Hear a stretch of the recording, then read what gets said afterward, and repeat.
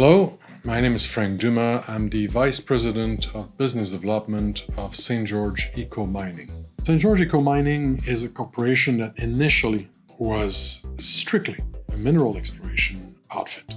And the goal was to uh, federate a constellation of nickel and critical mineral, especially palladium, uh, mineral projects, and then develop them.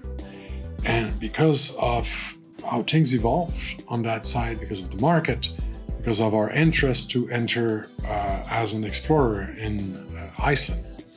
We quickly brought in technology and we evolved into a conglomerate that today has different uh, subsidiaries that are feeding each other's from the energy, from the hydrogen, to, from the uh, St. George Metallurgy, for example, which is another uh, subsidiaries that provide IP, that provide research, to EVSX that does commodities still, but without mining, doing urban mining by recycling batteries, including domestic batteries and car batteries.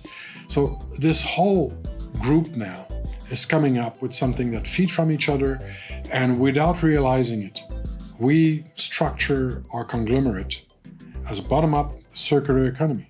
We're having fun doing what we're doing. Uh, we're not necessarily looking for the next press release.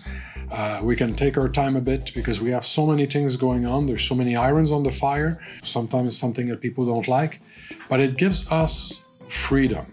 Uh, for example, when we run and we have some good uh, discovery on the battery technology side, and then we're moving uh, towards commercialization, we're not feeling the pressure as much uh, to develop uh, the uh, the assets we have in Iceland. We're not feeling the pressure to just drill where the nickel is and where the palladium and where rhodium is on Manicouagan, for example.